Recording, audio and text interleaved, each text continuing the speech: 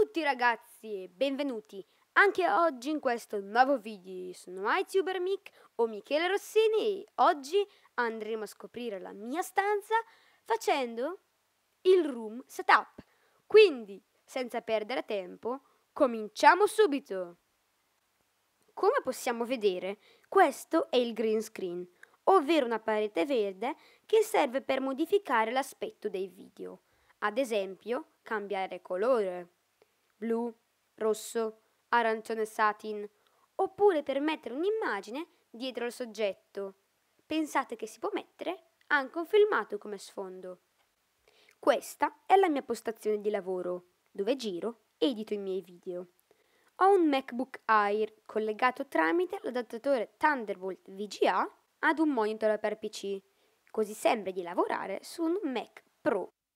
Ovviamente ho collegato al Mac anche una tastiera e un mouse per farlo sembrare ancora più professionale. Questo strumento è il mixer che serve per registrare la voce tramite queste entrate XLR o line o di ascoltare e registrare la musica tramite RCA o jack da 6 3. Le casse servono per ascoltare il tutto ovviamente sono passive, perciò dobbiamo collegarle ad un amplificatore che le dia potenza. Come subwoofer uso queste casse attive, anche se sembrano passive, perché è stato modificato il cavo. Per internet uso questo modem Telecom Italia. Come PC fisso vero e proprio uso un Packard Bell Windows, anche se quest'ultimo non lo uso quasi mai perché è veramente lentissimo.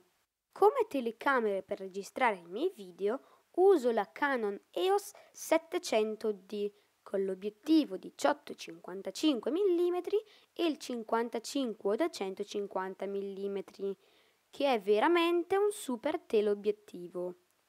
Prima registro su una SD XC da 32 GB Extreme Plus e poi su una schedina SD XC da 32 GB Extreme.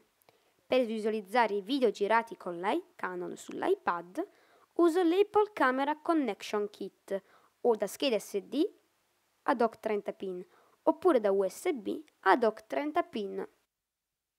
Questo è il mio iPad 2 con installato iOS 8.2. Per registrare i miei vlog che non metto su YouTube uso un microfono lavalier DMC 6020C collegato allo zoom H1. Registra in mono sul canale sinistro, ma non è un problema, perché da Audacity si può far diventare mono, quindi adatto al lavalier. Per registrare l'audio su YouTube e alcuni video uso l'Onaire Recording Bundle della SoundStation, del quale trovate la mia recensione sul canale.